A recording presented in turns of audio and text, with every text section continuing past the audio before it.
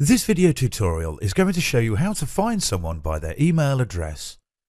When you get an email from someone you have never interacted with, before you reply, you will want to identify who the sender is. It's possible to identify the sender by the email address online. This video tutorial is going to show two ways to find someone by their email address. Open your email. Check on the Received From tab on the top of your email. There is an email address of the sender Copy the email address. Log into your Facebook. Paste the email address on your Facebook search bar.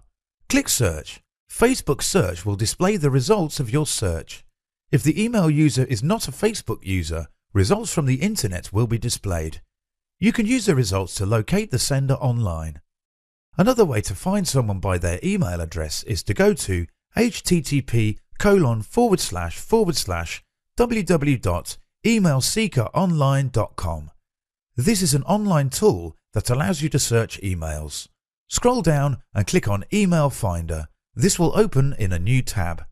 Copy the email address and paste it on the box in the new tab. When you click Search, results will be displayed on the window. You will only be shown the location of the sender. To get the full details including name and information, you will need to subscribe. And that is all. You have successfully located someone by their email address. Thanks for watching this video tutorial. Leave comments and ask your questions by our email feedback at howtech.tv. That was a howtech.tv tutorial. Thank you for watching.